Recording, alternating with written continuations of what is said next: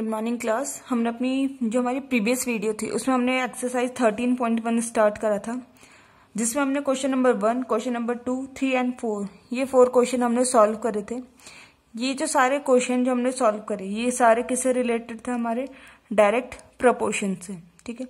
यानी कि सारी एक्सरसाइज में हम जो भी क्वेश्चन हमारे होंगे, वो सब डायरेक्ट प्रपोर्शन के होंगे। तो क्वेश्चन नंबर फोर तक हमने सॉल्व कर दिया था। क्वेश्चन नंबर फाइव स्टार्ट करते हैं। A photograph of bacteria enlarged 50,000 times attain a length of 5 cm as shown in the diagram. What is the actual length of the bacteria? If photograph is enlarged 20,000 times only, what would be its enlarged length? ठीक है question में क्या पूछा हमसे कि कोई एक bacteria की फ़ोटो थी जिसको हमने क्या करा था फिफ्टी थाउज़ेंड टाइम इनलार्ज का मीन्स क्या है कि ये मान लो हमने उसे जूम करा ठीक है यानी कि जूम करके हमारी क्या होती है इमेज बड़ी हो जाती है जब ना बैक्टीरिया तो हमारा बहुत ही छोटा सा होगा। जब हमने उसे फिफ्टी थाउज़ेंड टाइम्स हमने उसे इनलार्ज करा, तब जाके उसकी लेंथ जो हमें मिली वो ही फाइव सेंटीमीटर की।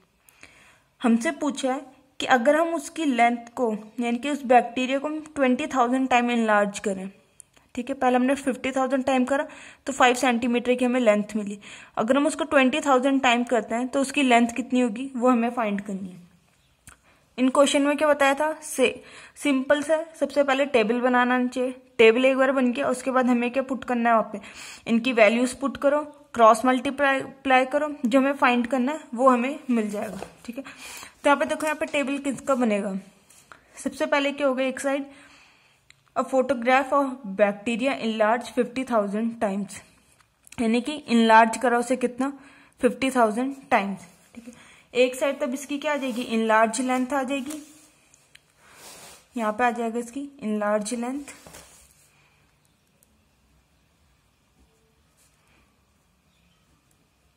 ठीक है। दूसरा साइड आएगी हमारा, जो इसकी क्या था? इन लार्ज लेंथ और दूसरे साइड क्या आ जाएगा इसका? Attain length of five centimetre ठीक है? कि हमने उसे कितना इन लार्ज करा? और साथ में क्या आ जाएगा कि इसकी लेंथ कितनी भी।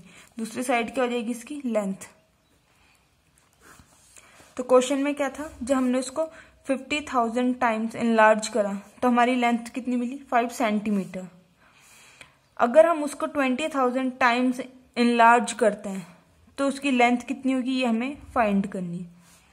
ठीक है? उसकी लेंथ कितनी होगी? ये हमें फाइंड करनी है। तो यहाँ पे हम क्या होता है? ये हमारी एक्स वन होता है, ये एक्स टू ये वाई वन एंड ये वाई टू हमें इस क्वेश्चन में क्या क्या करना है? जो वाई टू है, इसकी वैल्यू में फाइंड करनी है। तो डायरेक्ट प्रोपोर्शन वाला जो फॉर्मूला है, उसमें पुट कर देंगे। फॉर्मूला क्या था हमारे पास? X one upon y one equal to x two upon y two ये हमारा डायरेक्ट प्रोपोर्शन का फॉर्मूला था। ठीक है? ये जो हमारे टेबल है डायरेक्ट प्रपोर्शन में, क्योंकि ये क्या हो रहा है? हमारे यहाँ से डिक्रीज हो रहा है। यहाँ पे फिफ्टी थाउज़ेंड है तो फाइव सेंटीमीटर इसको हमने डिक्रीज करा ट्वेंटी थाउज़ेंड जो हमारी लेंथ होगी, वो भी तो छोटी होगी ना। फिफ्टी थाउज़ेंड टाइम्स करने में हमें फाइव सेंटीमीटर की लेंथ मिली। ट्वेंटी थाउज़ेंड करने में छोटी लेंथ होगी, यानी कि डिक्रीज हो रहा है, ये भी डिक्रीज हो रहा है। ये क्या हमारा डायरेक्ट प्रपोर्शन तो डायरेक्ट प्रपोर्शन का हमने फॉर्मूला रखा। इसमें पुट कर दो वैल्यूज़ एक्स वन है हमारा fifty thousand y one five equal to x two है twenty thousand and y two में फाइंड करना है। यहाँ से क्रॉस मल्टीप्लाई कर देंगे। वाई टू की वैल्यू आएगी। Y two multiply fifty thousand equal to twenty thousand multiply five हमें यहाँ पे वाई टू फाइंड करना है। तो जो फिफ्टी थाउज़ेंड है, यहाँ आगे डिवाइड में चेंज हो जाएगा। Y two equal to twenty thousand multiply five divided by fifty thousand इसको सॉल्व कर देंगे। थ्री फोर ज़ीरो से फोर ज़ीरो कट फाइव से फाइव। वाई टू कितना आ गया हमारा? Two centimetre.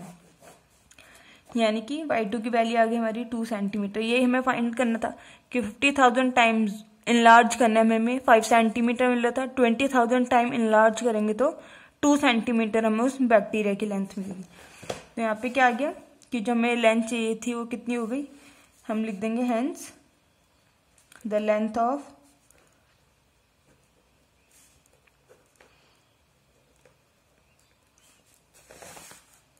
bacteria equal to two centimetre ठीक है, ये मैं फाइंड करा था।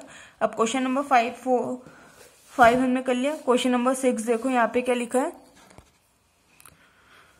क्वेश्चन नंबर सिक्स है। In a model of a ship the mast is nine centimetre high while the mast of the actual ship is twelve metre high if the length of the ship is twenty eight metre how long the model ship ठीक है question हमसे ये पूछे कि यहाँ पे हमारे पास दो शिप है। एक के जो हमारी एक्चुअल शिप है, दूसरा उसका एक मॉडल बना के तैयार मतलब मॉडल तैयार करा हुआ है। तो उसमें क्या है कि जो हमारी मॉडल शिप है, उसका जो मास्ट है मास्ट का जो ऊपर वाला पार्ट है, ये कितना मॉडल का? नाइन सेंटीमीटर है। While the mast of actual ship जो रियल में हमारी शिप है, उसका ट्वेल्व मीटर हाई यानी कि वो कितना है? ट्वेल्व मीटर उसका रियल हाइट है। If the length of ship is twenty eight metre जो हमारी रियल शिप है, अगर उसकी जो लेंथ है, वो है हमारी ट्वेंटी एट मीटर तो जो हमारी मॉडल शिप होगी, उसकी हमारी लेंथ कितनी होगी? ये हमें फाइंड करना है। क्वेश्चन नंबर सिक्स सबसे पहले काम क्या है? टेबल बनाने का। टेबल हमारे किन किन से बनेगा? एक क्या जाएगा हमारा? कि जो हमारी मॉडल की हाइट है, या फिर जो हमारे मॉडल की लेंथ है, दूसरा हमारा क्या आ जाएगी? एक्चुअल लेंथ ठीक है? तो एक साइड आएगी इसकी length of length of actual shape और दूसरा साइड क्या आ जाएगी? लेंथ ऑफ़ मॉडल शेप ये हमारा कॉलम बनेगा। तो लेंथ ऑफ़ एक्चुअल शिप जो हमारी लेंथ थी मास्ट की 12 मीटर तो जो मॉडल की कितनी थी? 9 सेंटीमीटर ठीक है? यहाँ पे जो हमारी 12 मीटर थी तो मॉडल किस टाइम मास्ट की लेंथ थी? 9 सेंटीमीटर फिर क्वेश्चन में if the length of ship अगर हमारी लेंथ शिप की 28 मीटर है तो मॉडल की लेंथ हमें फाइंड करनी है। ठीक है? लेंथ यहाँ पे कितनी अगर? 28 मीटर तो जो मॉडल शेप होगी, उसकी लेंथ कितनी है, वो हमें फाइंड करनी है। यहाँ पे रख दो, ये एक्स वन हो गया, ये एक्स टू ये वाई वन एंड ये वाई टू फॉर्मूले में पुट कर देंगे। Formula x one upon y one equal to x two upon y two ये फॉर्मूला होता हमारा डायरेक्ट प्रपोर्शन का। इसमें वैल्यूज़ पुट कर दो। एक्स वन की कितनी वैल्यू है? ट्वेल्व वाई वन है nine equal to x two है twenty eight and y two हमें फाइंड करना है। फाइंड कैसे होगा? क्रॉस मल्टीप्लाई कर देंगे।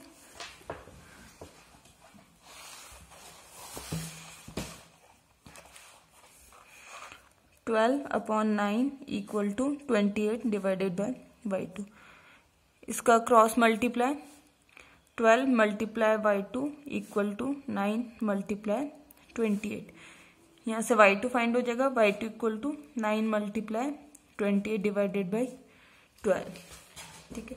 इसको फिर आगे हम सॉल्व करेंगे। यहाँ से वाई टू की वैल्यू आ जाएगी हमारी।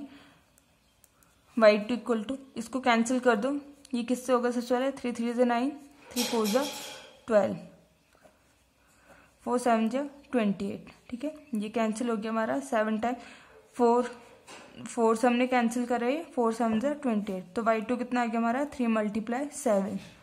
Y two equal to seven three जो ट्वेंटी वन सेंटीमीटर।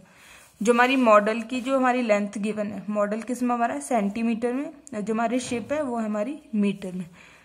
तो जो हमारी मॉडल की लेंथ आ गई, वो कितनी आ गई? Twenty one centimetre. Next question हमारे पास, question number seven. Suppose two K G of sugar contain nine into ten की power six crystals how many sugar crystals are there in first है five K G of sugar second one point two K G of sugar ठीक है? इस question में क्या given है हमारे पास? कि जो दो के जी शुगर थी, यानी कि दो किलो चीनी में नाइन इंटू टेन की पावर सिक्स क्रिस्टल क्रिस्टल मतलब क्या है ये? जो हमारे चीनी के छोटे छोटे दाने हैं। ठीक है? तो दो किलो चीनी में कितना ये? नाइन इंटू टेन की पावर सिक्स इसको नॉर्मल फॉर्म में लिखे। क्या हो जाता है हमारे पास। नाइन इंटू टेन के पावर सिक्स। ये रियल में है कितनी वैल्यू नाइन को मल्टीप्लाई कर देंगे। टेन के पावर सिक्स का मतलब वन के बाद सिक्स टाइम्स ज़ीरो इसका मल्टीप्लाई कर दें, यानी कि two three four five six दो किलो चीनी में, यानी कि टू के जी शुगर है। हमारे पास कितने क्रिस्टल्स हैं? इतने क्रिस्टल्स हैं। ठीक है? आगे इन्होंने दिया है, हमें फाइंड करना है how many sugar crystals are there in तो फाइव के जी शुगर है हमारे पास, कितने क्रिस्टल्स होंगे? पहले पार्ट में हमें फाइंड करना है, दूसरे पार्ट में हमें फाइंड करना है कि 1.2 पॉइंट ऑफ़ शुगर में कितने क्रिस्टल्स होंगे? सबसे पहले इसका टेबल बनाते हैं। क्वेश्चन नंबर सेवन तो हमारा टेबल बना किस एक साइड क्या होगा हमारा? वेट ऑफ़ शुगर दूसरी साइड आ जाएगा नंबर ऑफ़ क्रिस्टल्स ठीक है? क्वेश्चन में हमें ये से वैल्यू पता चल जाती है। सबसे पहले जहाँ पे भी नंबर दे रखे हैं, यानी कि टू के जी के जी के हमारा वेट है, यानी कि एक कॉलम हमारा वेट का होगा। Of sugar content nine into ten की पावर सिक्स क्रिस्टल्स यानी कि दूसरा साइड क्या होगा हमारा? नंबर ऑफ़ क्रिस्टल्स का। तो पहला पार्ट हम इसको सॉल्व करते हैं, उसमें क्या गिवन है? जो हमारे पास टू के जी शुगर था।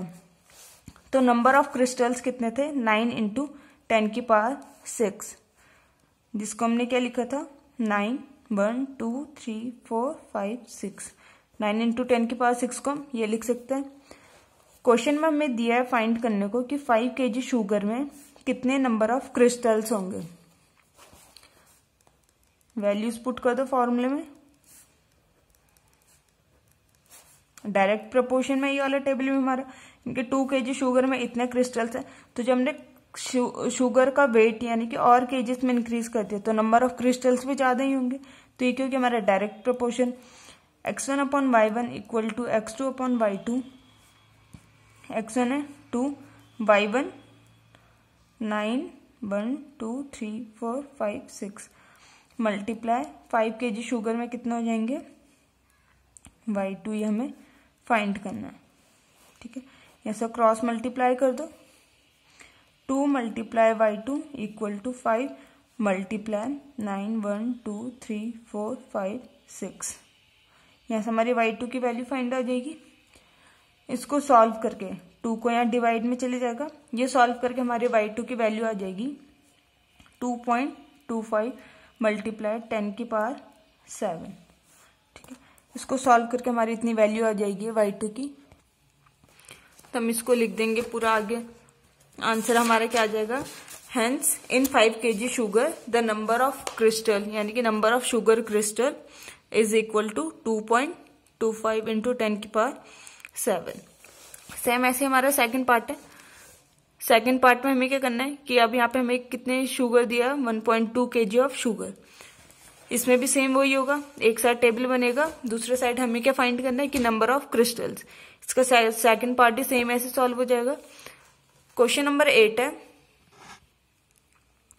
ये question number eight question number eight nine ten ये हम अपनी नेक्स्ट वीडियो में सॉल्व करेंगे। आज के लिए हमने question number five six seven ये सॉल्व करा। सेकंड पार्ट इसका खुद से ट्राई कर लेना। अगली वीडियो में eight nine ten question solve करेंगे। Thank you